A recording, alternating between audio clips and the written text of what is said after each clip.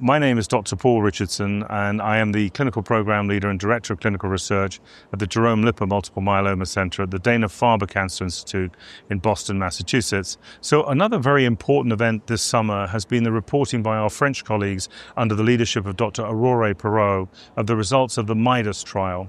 This, I think, has been one of the most important upfront transplant studies um, to date.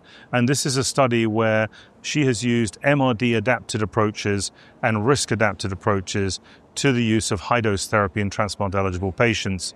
The study's been platformed on the use of KRD plus isatuximab, so a quadruplet combining carfilzomib with lenalidomide, dexamethasone, and isatuximab as an induction remission strategy, and then in standard risk MRD negative patients, assigning them to either a single transplant followed then by maintenance or continued KRD Isa therapy and then assessing MRD after those approaches versus in the high risk patients and the patients who are MRD positive, these patients have been assigned to either a single transplant or a second transplant in order to assess really the benefit of high dose melphalan in this population overall.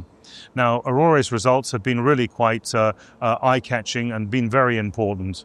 What she's shown is that the MRD rates generated by the quadruplet therapy have been remarkably high, regardless of the patient population. But in that same context, the use of single transplant in the MRD negative standard risk patients has, to everyone's surprise, I think, not meaningfully improved the MRD rate, suggesting that MRD guided treatment can inform us about certain patients who may be able to keep transplant in reserve, at least in the standard risk population.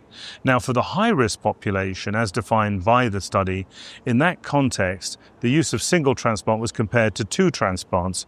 And again, what was seen here was that the second transplant, surprisingly, did not add much in terms of benefit to an improvement in MRD rate.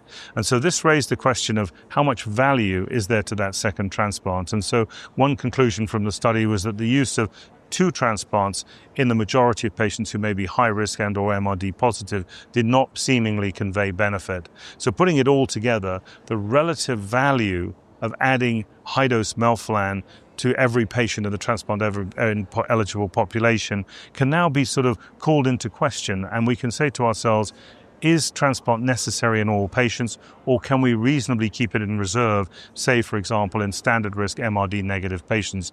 And I think certainly in that setting, um, these data validate that approach.